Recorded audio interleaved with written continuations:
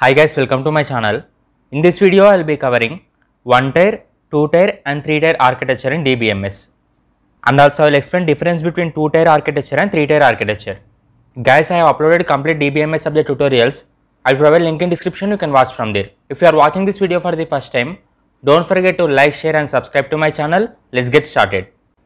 Guys, architecture is nothing but structured design. For example, I want to construct house. So I will go to builder.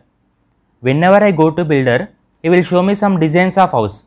So based on my requirement, I will choose one design. Here my house construction depends on house architecture. Similarly, if you want to design any DBMS software, here your DBMS design depends upon the DBMS architecture. The DBMS design depends upon its architecture. But how to design this DBMS architecture?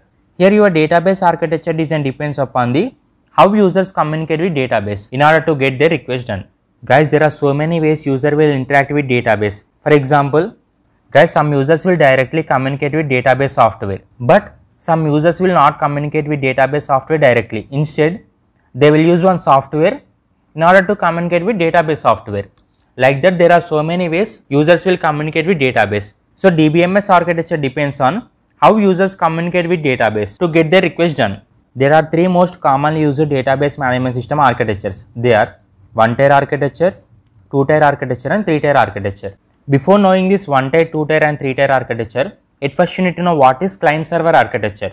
Person who will send request is known as client and server will give response to him. For example, let us consider I open Amazon website in order to purchase mobile. After I entered into Amazon website, I will type mobiles below 25,000. Whenever I type mobiles below 25,000 and click enter, it will transfer my request to Amazon server. It is Amazon server.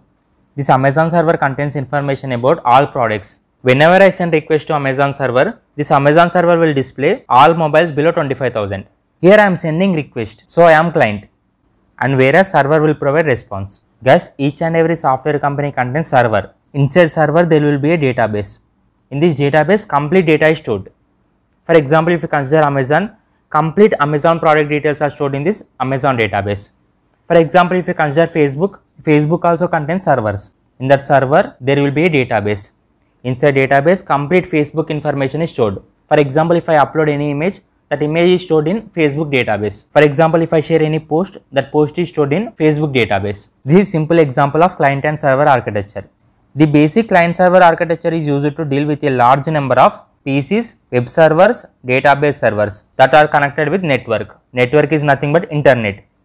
For example, if you consider Amazon, Amazon is simple example of client server architecture and there are multiple users who will use Amazon at a time. So this client server architecture deals with large number of systems and we will access Amazon by using internet. So this large number of PCs, web servers all are connected with internet. Guys, these two tier and three tier architectures are client server architectures. At first I will explain what is one tier architecture. Guys, this is simple structure of one tier architecture. In one tier architecture, database software is present in user's computer itself. For example, in my college lab, I want to practice DBMS. So I will go to lab and I will open system. And inside that system, I will open one DBMS software like MySQL. Inside MySQL, I will create some tables. Here I am using DBMS software in my computer itself. So it is simple example of one tier architecture. In one tier architecture, user will use database management system software in his computer itself.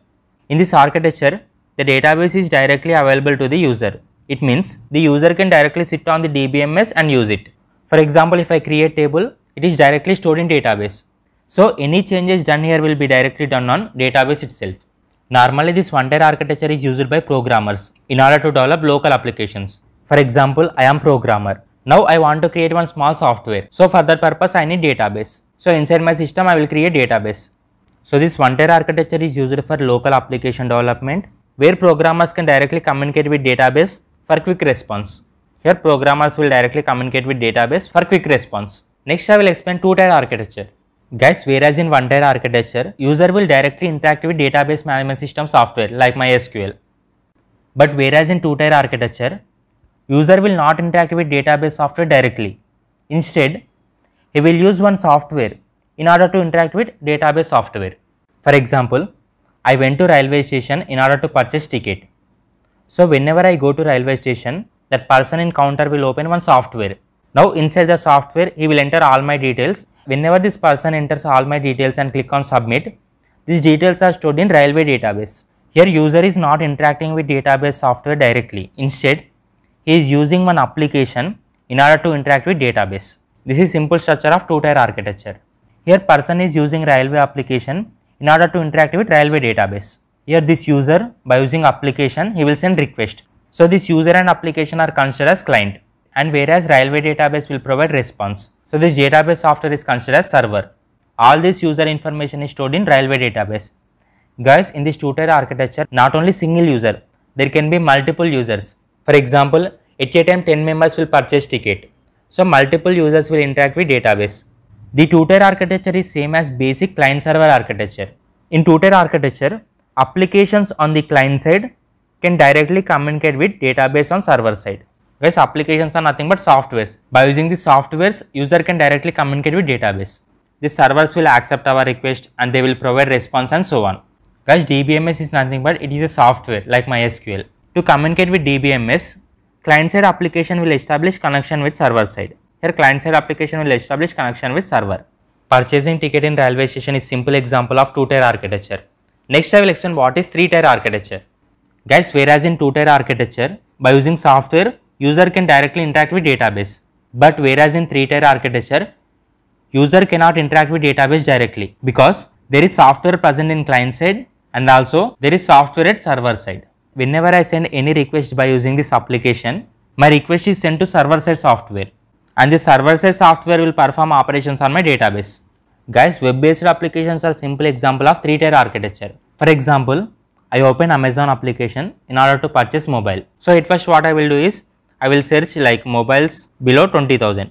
Whenever I enter mobiles below 20,000 and click enter, at first my request is transferred to Amazon application which is present on server side.